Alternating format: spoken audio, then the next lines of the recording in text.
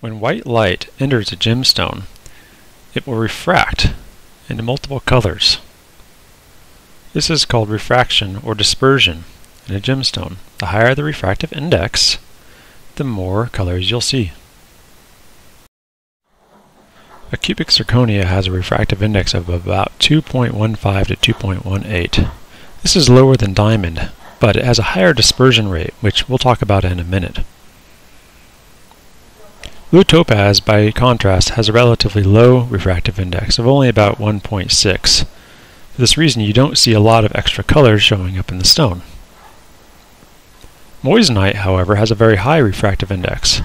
Note that even though the base color of this stone is teal, you see a lot of other flecks of color popping up as well, blues, greens, reds, and oranges. Okay, are you with me so far? That was a bit of a generalization. I want to clarify something right off the bat. Refractive index and dispersion are not actually the same thing. Uh, I'm going to clarify that right now. In order to explain the difference between a refractive index and dispersion, I'm going to be looking at two stones, moissanite and diamond. As white light enters each of these stones, it's going to break up into its different colors. Red light will refract less than violet light at the other end of the spectrum.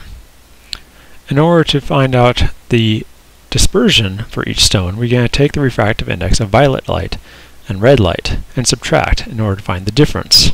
This is called the dispersion. Moissanite will refract the violet light and red light at greater differences to each other than diamond. Therefore, moissanite has a higher dispersion rate than diamond.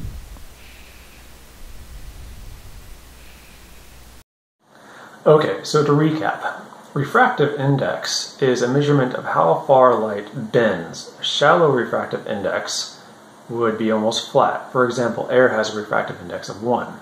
Water is about 1.3. Glass is about 1.5.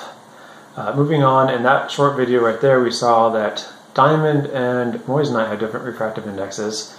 Uh, and that index is a measurement of how steep that angle is for light. But when you get into the different colors of light, like red versus violet, at the two opposite ends of the spectrums, now you're seeing that those two colors have a different refractive index independently. And that's because they operate on different wavelengths.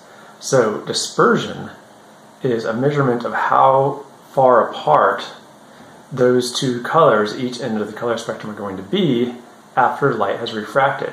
So as you can imagine, if you took a rainbow and you smush it together into a really narrow area, that would be a low dispersion and you're not going to see as much color differences versus a wider dispersion and you're going to see more of the different colors because they're spaced further apart. Okay, so what you might be wondering is, does a higher refractive index always mean a higher dispersion rate? And the answer is no. The two of them are not uh, directly proportionately related to them on a linear scale. Uh, and the classic example of this is cubic zirconia. Uh, CZ has a refractive index of about 2.15 versus diamond, which has an index of about 2.4. So one would think that diamond would also have a higher dispersion, but that's not true. Cubic zirconia actually has a higher dispersion than diamond. Uh, that's why uh, it, you might hear somebody say that CZ has more fire in it than a diamond does. Uh, and in that regard, that is true. Fire uh, as it's called in the jewelry trade, uh, refers directly to the dispersion of a stone or how much color is presented, uh, most often in a clear stone or in a white stone like diamond or CZ or moissanite. Um, however, these stones also come in other colors in which you would see those flecks of colors mixed in with the base color like we saw in the moissanite earlier. So that wraps it up for today. Um, I hope you found this to be interesting and informative. If you have any questions or comments, just put them in the comments below. I try to read them and respond if I feel like uh, I can pitch in and lend any hand. Um, so thank you for watching, and I appreciate your time.